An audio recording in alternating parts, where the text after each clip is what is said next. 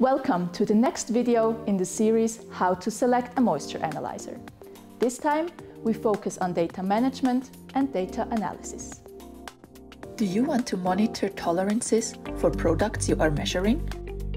Usually, the result of a moisture content measurement has a certain tolerance. Some moisture analyzer models, such as the HX204 or the HS153, allow you to define these limits and show clear pass or fail indication for a measurement. With the integrated control charts, you can also monitor trends in results produced over time. Do you want to report batch or sample IDs? If you have a large amount of samples, it's easy to mix them up by accident. An instrument with integrated ID and batch management helps keep the data organized. Some moisture analyzers like the HC103, can be operated with a barcode reader to quickly scan sample IDs. Do you want to report attributable results? In highly regulated environments, it's important to record the results together with the operator's name and other metadata.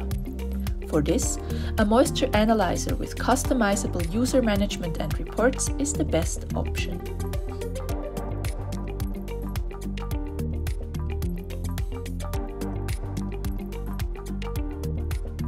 How do you want to print your results? Strip printers can be connected to most moisture analyzer models. With more advanced instruments, it's also possible to send a PDF report to a USB stick or a network printer and to customize the printout content.